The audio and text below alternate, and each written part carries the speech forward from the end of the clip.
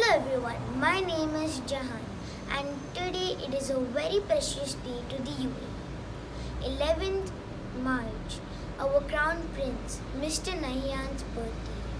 I would like to wish him a very happy birthday and to live a healthy life. UAE is very safe under your leadership. Thank you, sir.